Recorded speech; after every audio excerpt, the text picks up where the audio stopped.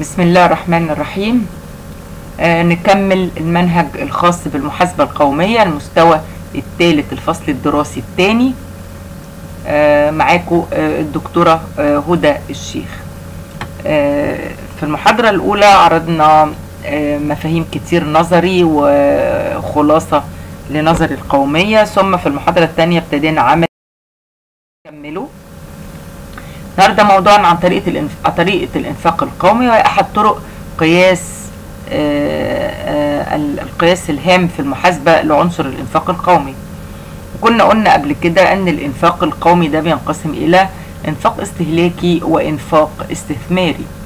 والإنفاق الاستهلاكي آه بيبقى طبعا زي ما اتفقنا قبل كده إن ده رقم بيجي بعد مجهود كبير من برامج إحصائية وناس مسؤولة عن إعداده. وتجميعه من جميع قطاعات الدولة الأربعة.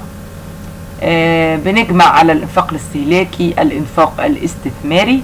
والإنفاق الاستثماري لما لما يجي لك في التمرين مش هديك بقى رقم مباشر زي الاستهلاكي. إحنا لازم نحسبه عن طريق أربع عناصر اهي. هديك إضافات للأصول الثابتة تكتبها.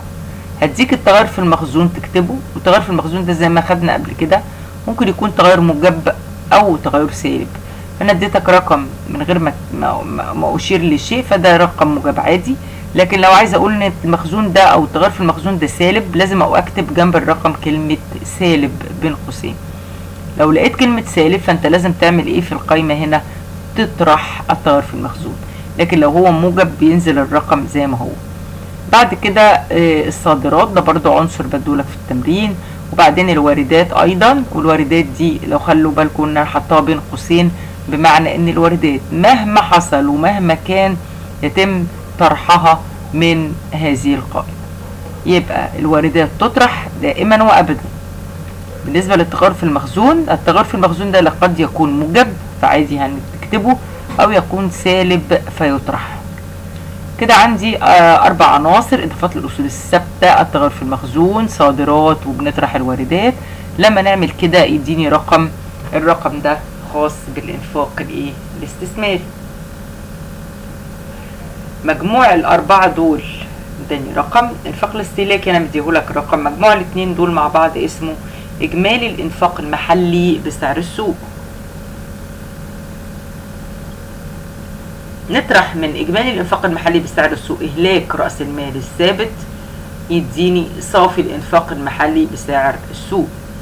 إذا إهلاك رأس المال الثابت يتم طرحه آه الديبريشيشن الإهلاك في الأصول الثابتة في المحاسبة اللي خدناها قبل كده أو أنتم درستوها يعني. كان بيكون عندي أصول ثابتة فبنعمل لها نحسب لها ديبريشيشن أو إهلاك بأي يعني طريقة من طرق الإهلاك المسموح بها في المعايير. وبعدين طبعا والمرجح طريقة القسط الثابت. هنا في في المحاسبة القومية إحنا بنطرح رأس المال الثابت. وطبعا ده برضو رقم بيجي بعد ما خطوات كتيرة جدا جدا إحصائية. إحنا بنديهولك في التمرين رقم واحد لوحده. لو حصل وجه الرقم. وأنا اديتهولك فأنت لازم بعد ما توصل لإجمالي الإنفاق المحلي بسعر السوق بتقوم بطرح إهلاك رأس المال الثابت. هنوصل بعد الخطوات دي إلى حاجة اسمها صافي الإنفاق المحلي بسعر السوق. بعد لما نوصل لدي دي كأنك وصلنا كده لنص التمرين. بعدها أديك بيانات بقى عن الإعانات بنجمعها أو إذا كان في ضرائب غير مباشرة وتحويلات داخلية بنطرحها. وان حصل كده فبوصل لحاجة اسمها صافي الإنفاق المحلي بتكلفة عوامل الإنتاج ودي أول مطلوب. يبقى بنجمع الإعانات نطرح الضرائب غير المباشرة والتحويلات الداخلية. ممكن في التمرين أجيب لك ضرائب غير مباشرة فقط فبتطرحها. ممكن أجيب لك تحويلات داخلية فقط فأنت بتطرحها. ممكن أجيب لك الاثنين رقم واحد فأنت بتكتب ضرائب غير مباشرة وتحويلات داخلية وبتطرحها. أو أجيب لك الضرائب غير المباشرة رقم 100 مثلا والتحويلات الداخلية 200 فيبقى 100 زائد 200 هتكتب هنا 300 وتقول ضرائب غير مباشرة وتحويلات داخلية. تمام؟ بعد ما نوصل لصافي الإنفاق المحلي بتكلفة عوامل الإنتاج بنجمع بقى عليه زائد دخول محققه المواطنين المقيمين. طبعا الرقم. ناقص دخول محققة للأجانب غير المقيمين. اتفقنا على موضوع إيه؟ الأجانب غير المقيمين دول في التمرين السابق. ويتم الطرح فيوصل لحاجة اسمها صافي الإنفاق القومي بتكلفة عوامل الإنتاج. إذا طريقة الإنفاق القومي طريقة آه، خطواتها آه، يعني أكتر شوية من التمارين اللي فاتت معتمدة على إن إحنا بنجمع الإنفاق الاستهلاكي والإنفاق الاستثماري معا. لما بنجمعهم معا بنوصل لإجمالي الإنفاق المحلي بسعر السوق والإنفاق الاستهلاكي ده رقم مباشر آه، واحد هديهولك. الإنفاق الاستثماري بتحسبه عن طريق أربع عناصر. ممكن العنصر بتاع التغير في المخزون اديهولك رقم موجب فبتكتبه زي ما هو. ممكن أقول لك إن التغير في المخزون سالب فبيتم طرحه. آه والصادرات موجودة. الور... طبعا بديها لك معطيات جيفن والواردات خلي بالك خلي بالك خلي بالك إن الواردات دي يجب أن يتم طرحها من غير أنا ما أقول. يعني أقول لك واردات رقم 200 ال 200 دي يجب أن تطرح في هذه القائمة بلا جدل. لأن لأن الميزان بتاعنا في ال... إحنا اتفقنا إن المحاسبة القومية جزء اقتصاد وجزء محاسبة وجزء آه، إحصاء. وإحنا عندنا في الاقتصاد الميزان التجاري عبارة عن صادرات وإيه؟ واردات. لما بتيجي تحسب الميزان التجاري بتقول صادرات ناقص واردات. إذا الواردات بتطرح في قائمة آه، آه، حساب طريقة الإنفاق القومي. تمام كده؟ وصلنا بقى بعد الخطوات دي لصافي الإنفاق المحلي بتكلفة عوامل الإنتاج. وجمعنا عليه دخول محققه المواطنين المقيمين طرحنا منه دخول محققه للاجانب غير المقيمين وصلنا لصافي الإنفاق القومي بتكلفة عوامل الإنتاج. فيما يلي بعض البيانات المتعلقة بالاقتصاد القومي وأنا قلت الأرقام بالمليون وإحنا اتفقنا إن كلمة الأرقام بالمليون دي عشان طبعا إحنا بنتكلم عن محاسبة قومية مليون ومليار وتريليون كمان. لكن في التعامل في التمرين هتتعاملوا مع الأرقام اللي أنا مديها لكم زي ما هي. التمرين بيقول انفاق استهلاكي 1200 مليون طبعا الإضافات للأصول الثابتة 1800 مليون التغير في المخزون 200 سالب يبقى أنا ذكرت كلمة سالب فإذا التغير في المخزون في هذا التمرين سيتم طرحه. الصادرات 600 الواردات 200 طبعا مش هقول حاجة الواردات تطرح ولا ما تطرحش بكتب لك رقم الواردات زي ما هو وانت فاهم خلاص ان كلمة الواردات لأن وجدت في التمرين فيجب طرحها. يعني بطريقة آه، تلقائية. آه، إهلاك رأس المال الثابت وده 200 مليون. إعانات الإنتاج آه، 100 مليون. ضرائب غير مباشرة 300 مليون. دخول محققة المواطنين المقيمين 100 مليون.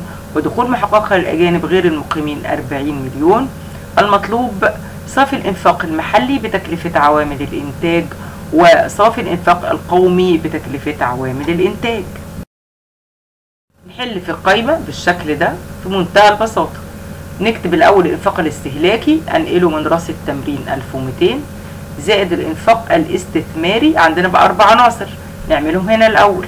إضافات للأصول الثابتة طلع معانا كام؟ 1800 التغير في المخزون أنا قايلة سالب يبقى لازم يطرح إيه؟ 200 بالسالب. الصادرات مديها لك في التمرين 600 الواردات 200 وإحنا متفقين إن الواردات أي رقم أجيبه لك في الجزء بتاع الإنفاق ده يبقى الواردات يتم إيه؟ طرحها يبقى 200 بالماينس. لما نجمع الأربع عناصر دول تجميع جبري يعني بالموجب والسالب هنوصل لرقم كام؟ 2000 وأنا عندي الإنفاق الاستهلاكي 1200 يبقى 1200 زائد 2000 هيديني 3200 مليون دول اجمالي الانفاق المحلي بسعر السوق. هطرح منه إهلاك رأس المال الثابت 200 يديني صافي الإنفاق المحلي بسعر السوق. طلع كام؟ 3200 ناقص 200 طالع 3000 مليون. أجمع عليهم إعانات 100 مليون. أطرح منهم ضرائب غير مباشرة وتحويلات داخلية. طالعة هنا معايا 300 مليون بالطرح. هيديني صافي الإنفاق المحلي بتكلفة عوامل الإنتاج 2800 مليون. فاضل بقى آخر جزئية زائد دخول محققه للمواطنين المقيمين 100 ناقص دخول محققه للاجانب غير المقيمين 40 يديني صافي الإنفاق القومي بتكلفة عوامل الإنتاج.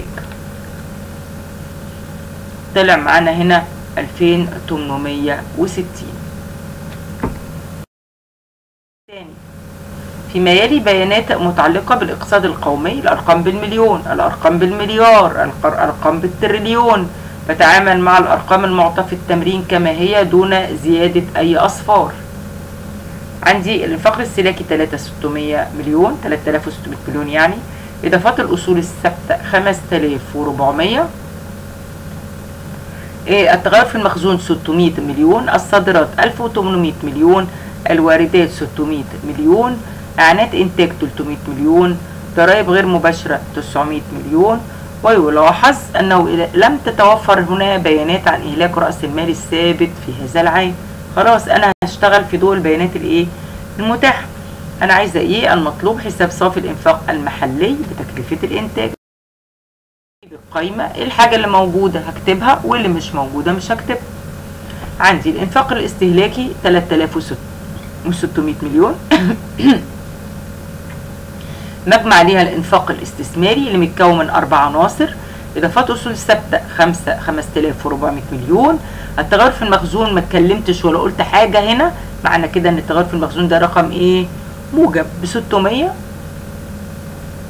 الصادرات 1800 الواردات طبعا 600 من غير ما أفتح بقي بيتم طرحها تلقائيا. والاربع عناصر دول المجموع الجبري طلع 7200 مليون. يبقى 3600 مليون إنفاق استهلاكي أجمع عليهم 7200 إنفاق استثماري. هيطلع إجمالي الإنفاق المحلي بسعر السوق 10 800 مليون. آه بعد ما بوصل له بنطرح منه إيه بقى؟ إهلاك رأس المال الثابت. أنا في التمرين هنا ما اديتكش إهلاك رأس المال الثابت فيبقى قدامها شرط أو صفر. يبقى 10 800 مفيش. ناقص صفر يديني 10 800 برضو. دول اسمهم إيه دول؟ اسمهم صافي الإنفاق المحلي بسعر السوق. آه في التمرين مديني إعانات إنتاج ومديني ضرائب غير مباشرة. ما ادانيش كلمة تحويلات داخلية. مفيش مشكلة. يبقى أجمع على صافي الإنفاق المحلي بسعر السوق إعانات الإنتاج اللي هي 300 مليون وأطرح منه ضرائب غير مباشرة اللي هي هنا في التمرين ده 900 مليون. يديني صافي الإنفاق المحلي بتكلفه عوامل الإنتاج 10 مليون و200 اللي هي خلاصة للأرقام اللي قبلها. يبقى اذا موضوع حساب الإنفاق القومي مرتبط بتواجد بيانات أو عناصر للإنفاق الاستهلاكي والإنفاق الاستثماري وإحنا اتفقنا الإنفاق الاستهلاكي ده بيكون رقم آه معطيات جاهز. أما الإنفاق الاستثماري فلازم يعني يتم حسابه عن طريق آه آه بعض يعني عن طريق أربع عناصر بينهم علاقات حسب معطياتي. ممكن أديك تغير في المخزون رقم سالب فسيتم ستقوم بعملية الطرح.